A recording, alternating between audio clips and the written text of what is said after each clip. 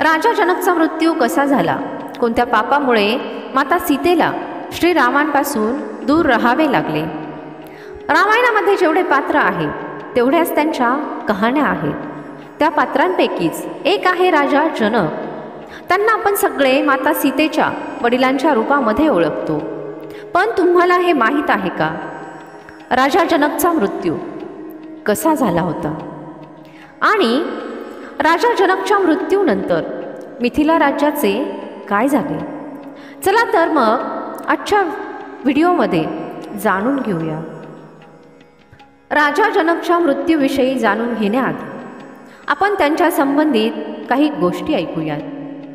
असं म्हणतात की मिथिलेचे राजा जनक यांचे वडील निमी होते. तेच मिथिलाचे सगळ्यात मोठे राजा होते. असं म्हणतात की राजा जनकची उत्पत्ती त्यांच्या वडिलांच्या मृत्यू पावलेल्या शरीरापासून झाली होती. त्यामुळे त्यांना जनक म्हटले जाते. पण त्यांच्या आईविषयी कुठेही उल्लेख मिळत नाही. राजा जनकचे खरे नाव सिरध्वज होते आणि त्यांचे भाऊ कुशध्वज होते. खूप वर्ष राजा जनक यांना मूल नव्हते. एक दिवस त्यांनी प्रजेला दुष्काळापासून वाचवण्यासाठी शेतामध्ये नांगर चालवला. तेव्हा त्यांना जमिनीखाली एका पेटीत एक सुंदर कन्या मिळाली जी देवी लक्ष्मीचा अवतार होती. तिचं नाव सीता ठेवलं गेलं. त्यानंतर काही वर्षांनंतर महाराज जनक यांची पत्नी सुनैनाने एका मुलीला जन्म दिला. तिचं नाव उर्मिला होतं. त्याबरोबरच महाराज जनक यांचा छोटा भाऊ कुशध्वज यांच्या दोन मुली होत्या. ज्यांचं नाव मांडवी आणि श्रुतकीर्ती होतं. असं म्हणतात की एकदा भगवान परशुराम यांनी त्यांच्यावर खुश होऊन देवांचे देव महादेव यांचं धनुष्य दिलं होतं ज्याला माता सीतेच्या स्वयंवरामध्ये ठेवलं होतं.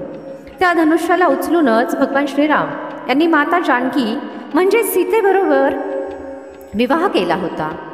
आता पाहूयात त्यांच्या मृत्यूविषयी. पद्मपुराणातील एका कथेनुसार ही पौराणिक काळातील गोष्ट आहे. राजा जनकने जसेही योग बलाने त्यांच्या शरीराचा त्याग केला त्याचवेळी एक सुंदर विमान आले आणि राजा जनक दिव्य देहधारी सेवकांबरोबर त्या विमानात बसून चालले होते. ते विमान महाराज जनक यांना समणीपुरीजवळ येऊन चा चालले होते. जेव्हा विमान तेथून पुढे जाऊ लागले त्याचवेळी मोठ्या आवाजाने राजाला हजारो तोंडातून येणारे दुःखांचे आवाज ऐकू आले. पुण्य आत्मा राजन तुम्ही इथे जाऊ नका. तुमच्या शरीराला स्पर्श करून येणाऱ्या हवेमुळे आम्ही अडचणीत असलेल्या नरकातील दुःखी प्राण्यांना खूप सुख मिळत आहे. धर्माच्या रस्त्यावर चालणारे आणि दयाळू राजाने दुःखी लोकांचं बोलणं ऐकून घेतलं आणि निर्णय घेतला की माझ्या इथे राहण्यामुळे यांना सुख मिळत असेल. तर त्यांनी मृत्यूचे देवता यमराजांना सांगितले की मी इथेच राहणार माझ्यासाठी हाच स्वर्ग आहे. असं म्हणून राजा तिथेच थांबले. तेव्हा मृत्यू देवता यमराजाने त्यांना म्हटले ही जागा तर हत्यारे पापी अशा लोकांसाठी आहे. दुसऱ्यांना कलंक लावणारे मित्रांना धोका देणारे खोटं वागणारे माणुसकी न जपणारे इथे येतात. आणि त्यांना नरकामध्ये टाकून मी भयंकर शिक्षा देतो. हे राजन तुम्ही तर पुण्यात्मा आहे. धर्मराजांचं हे बोलणं ऐकून राजा जनक म्हणाले माझ्या शरीराला स्पर्श करून गेलेली हवा सगळ्यांना सुख देत आहे.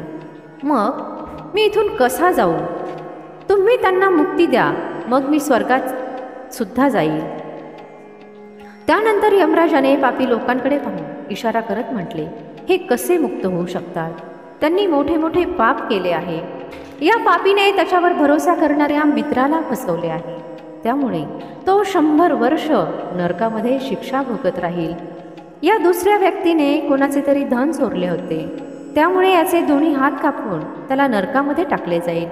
त्यामुळे हे सगळे पापी नरकाचे भुगी आहेत. तुम्हाला जर त्यांना मुक्त करण्याची इच्छा असेल तर तुम्ही तुमचे पुण्य अर्पण करा. एक दिवस सकाळी सकाळी राजा जनकने पवित्र मनाने भगवान श्रीरामांचे ध्यान केले होते आणि तेच पुण्य कमावले होते. फक्त तेच पुण्य यांना द्या. यानेच त्यांचा उद्धार होईल. धर्मराजाचं हे बोलणं ऐकून राजा जनकने उशीर न करता आपले सगळे पुण्य दिले आणि त्यामुळे सगळे लोक नरक यातनेतून मुक्त झाले. आणि ते महाराज जनक यांचे गुणगान करत दिव्य लोकाला पोहोचले. तेव्हा महाराज जनकने यमराजाला विचारले हे धर्मराज जेव्हा धार्मिक पुरुषांचे इथे येणेच होत नाही तर मग मला इथे का आणले आहे? त्यावर यमराज म्हणाले राजन तुमचं जीवन तर पुण्याने भरलेलं आहे पण एक दिवस तुम्ही छोटंसं पाप केलं होतं. तुम्ही एक दिवस सरणाऱ्या गोमातेला थांबवलं होतं. या पापामुळे तुम्हाला नरकाचे तोंड पाहावे लागले. पण आता तुम्ही त्या पापापासून मुक्त झाले आहे आणि या पुण्यकामामुळे तुमचे पुण्य आणखीनच वाढले आहे. जर तुम्ही या रस्त्याने आले नसते तर या बिचाऱ्या लोकांना नरकाच्या यातना भोगत राहावे लागले असते. त्यांचा कसा उद्धार झाला असता? तुमच्यासारख्या दुसऱ्यांच्या दुःख पाहून दुःखी होणाऱ्या दयाधाम महात्मा दुःखी लोकांचे दुःख हरण करत राहतात. ईश्वर कृपा सागर आहे. पापाचे फळ भोगण्याच्या उद्देशाने दुःखी लोकांचे दुःख दूर करण्यासाठी या संयमाच्या रस्त्याने त्यांनी तुम्हाला इथे पाठवले आहे. हे सगळं बोलणं झाल्यानंतर राजा जनक धर्मराजाला प्रणाम करून परमधामाच्या यात्रेला निघून गेले. याप्रमाणेच आपल्या वडिलांप्रमाणेच माता सीतेबरोबर सुद्धा एक घोर पाप झाले होते. तर जाणून घेऊया ते कोणते पाप होते. एकदा माता सीता मैत्रिणींबरोबर बागेमध्ये फिरत होती. तिथे माता सीतेने एक सुंदर पोपटांची जोडी पाहिली. तो पोपट माता सीता आणि प्रभू रामचंद्र यांच्याविषयी बोलत होता. त्यामुळे माता जानकी आपल्या भविष्याविषयी जाणून घेण्यासाठी उत्सुक होती. त्यानंतर सीतेने तिच्या मैत्रिणीला सांगून त्या पक्ष्यांना पकडले. जेव्हा ती पोपटाची जोडी त्यांच्यासमोर आली तेव्हा माता सीता म्हणाली सीता दुसरी कोणी नाही तर मीच आहे. जोपर्यंत माझा विवाह होत नाही तुम्ही दोघं याच राजमहालामध्ये राहणार. इथे तुम्हाला सगळ्या सुखसुविधा मिळतील. त्यानंतर पोपट म्हणाला देवी आम्ही आकाशातील पक्षी आहे. त्यामुळे पिंजऱ्यात राहून आम्ही आमचं आयुष्य जगू शकत नाही. आमच्यावर दया करा आणि आम्हाला मुक्त करा. तो पोपट पुढे म्हणाला हे जनकपुत्री माझी पत्नी गर्भवती आहे. त्यामुळे आम्हाला इथून जाऊ दे. पण आपल्या स्वार्थामुळे देवी जानकीने पोपटाचे म्हणणे ऐकून घेतले नाही. त्यामुळे पोपटाला खूप राग आला आणि त्याने देवी सीतेला शाप दिला की तुम्ही सुद्धा तुमच्या पतीपासून गर्भावस्थेच्या वेळी दूर राहताल. पोपटाने काही वेळाने त्याच्या प्राणांचा त्याग केला. हा तोच पोपट होता जो पुढच्या जन्मी धोब्याच्या रूपामध्ये जन्म घेतो आणि देवी सीतेच्या चरित्रावर प्रश्न करतो. त्यामुळे जनकपुत्रीचा भगवान श्रीराम त्याग करतात आणि त्यामुळे माता सीतेला गर्भावस्थेमध्ये प्रभू श्रीरामांपासून दूर राहावे लागले होते. या पोपटाच्या जोडीप्रमाणेच माता सीतेला सुद्धा आपले पती भगवान श्रीराम यांचा वियोग सहन करावा लागला.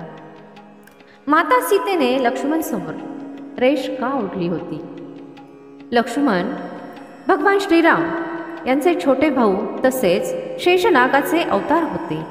लक्ष्मण भगवान श्रीराम आणि माता सीतेला त्यांच्या आईवडिलांप्रमाणे मानत होते.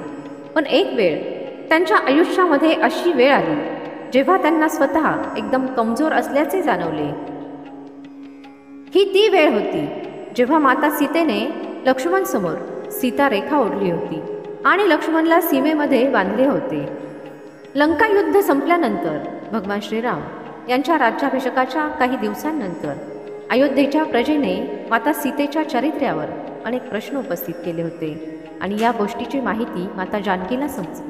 तेव्हा त्यांनी स्वतःच भगवान श्रीरामांनी त्यांचा त्याग करावा आणि वनात पाठवावे याचा निर्णय घेतला. भगवान श्रीराम यांनी त्यांना थांबवण्याचा खूप प्रयत्न केला पण माता सीतेने त्यांना आपल्या वचनांमध्ये बांधून ठेवले आणि वनाकडे जायला प्रस्थान केले.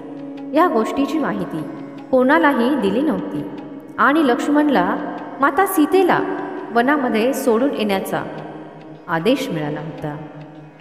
माता सीता लक्ष्मणबरोबर रथात बसून जेव्हा वनात पोहोचली तेव्हा माता सीतेने लक्ष्मणला रथ थांबवण्यासाठी आणि तिथून परत जाण्यासाठी सांगितले. यावर शेषनाग अवतार लक्ष्मण विलाप करू लागले आणि परत जाण्यास नकार दिला. लक्ष्मणने जानकी मातेला म्हटले मातेला एकटीला वनात जाऊ देणार नाही आणि ते सुद्धा त्यांच्याबरोबर येणार. आणि एका मुलाप्रमाणे त्यांची सेवा करतील लक्ष्मणचं हे बोलणं ऐकून माता सीतेने लक्ष्मणला समजून सांगायचा खूप प्रयत्न आणि परत जाऊन भगवान श्रीराम यांची सेवा करण्यास सांगितले. पण लक्ष्मण तेथून जायला तयार नव्हते. ते त्यांच्या बोलण्यावर अडून बसले होते की ते इथून जाणार नाही आणि माता सीतेची सेवा करतील. जेव्हा माता सीतेने पाहिले की लक्ष्मण असं ऐकणार नाही तेव्हा माता सीतेने लक्ष्मणसमोर एक झाडाची फांदी ठेवली आणि म्हटले की ज्याप्रमाणे लक्ष्मणने माता सीतेसाठी रेषा ओढली होती आणि ती पार करू नये म्हणून सांगितलं होतं त्याप्रमाणेच माता सीतेने सुद्धा लक्ष्मणसमोर रेष ओढली आणि मातेच्या नातेने आदेश दिला की ते फांदी ओलांडून माता सीतेच्या मागे येणार नाही. एवढं बोलून माता सीता ती फांदी ओलांडून वनाच्या दिशेने निघाली. लक्ष्मणला आपल्या मातेसमान माता सीताकडून आदेश मिळाला होता. त्यामुळे ते काहीही करू शकले नाही. ही ती वेळ होती जेव्हा लक्ष्मणची इच्छा असून सुद्धा त्यांना रेषा पार करता आली नाही. त्यामुळे लक्ष्मणला इच्छा नसतानाही परत अयोध्येला जावे लागले. मला आशा आहे की तुम्हाला ही कथा नक्की आवडली असेल व्हिडिओ आवडला असेल तर व्हिडिओला एक लाईक आणि सबस्क्राईब नक्की करा. आणि कमेंटमध्ये जय श्रीराम नक्की लिहा.